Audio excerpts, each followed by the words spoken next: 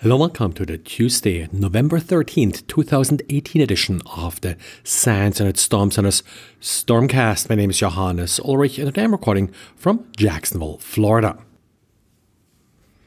And we do have more BGP based routing attacks to talk about. At least it sort of looks like an attack against Google caused an outage in some of Google's cloud services. Cloud service monitoring company ThousandEyes first noted the problem, and what they saw was that the traffic was redirected to China, Russia, and an ISP in Nigeria.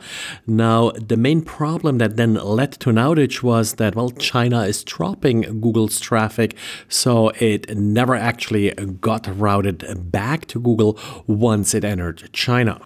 Sort of a problem with a lot of these routing attacks is that they often go unnoticed, uh, but in this case, because China dropped traffic, they actually then resulted in a denial of service no real idea yet who is behind it or if this was intentional or if this was just another accident.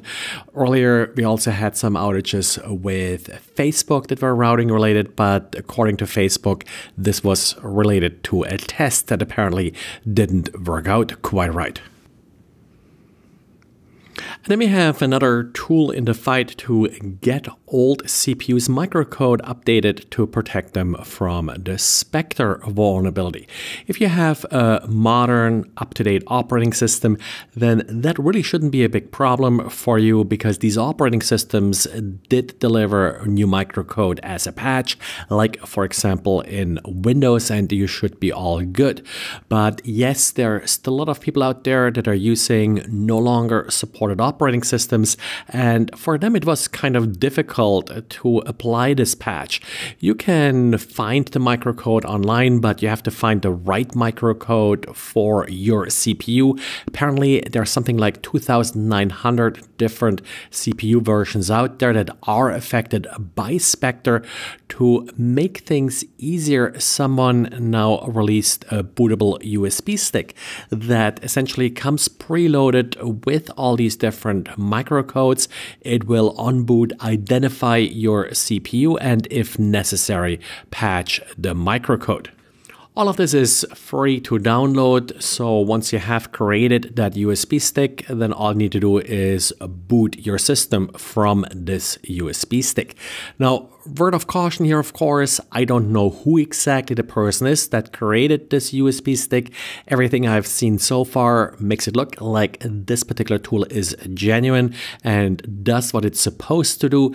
According to VirusTotal, there are two antivirus tools that identifies as malware.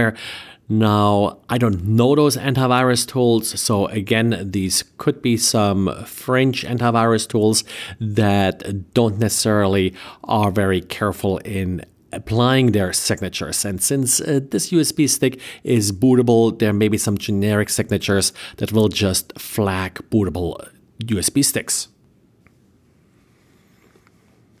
And well, GDPR, the famous European Privacy Directive, uh, is supposed to make users' data more private and more secure.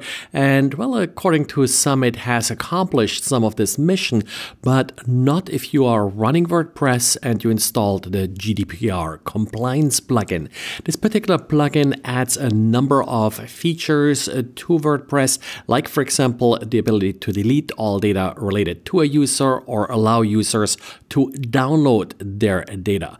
But sadly, it also adds a number of severe vulnerabilities. These vulnerabilities allow an attacker to rewrite your privileges and, well, essentially put all the data on your WordPress install at risk. And according to WordFence, who found this vulnerability, this vulnerability is currently actively being exploited. An exploit is widely available, so don't lose any time and patch this plugin. If you have downloaded the plugin today or last uh, couple days, you probably received already the up-to-date version, but double check and make sure you're up to date. Well, and yesterday I mentioned that I was speaking earlier today at the OWASP meeting here in Jacksonville. If you're interested, the talk was recorded and should be online on the OWASP Jacksonville website within the next few days.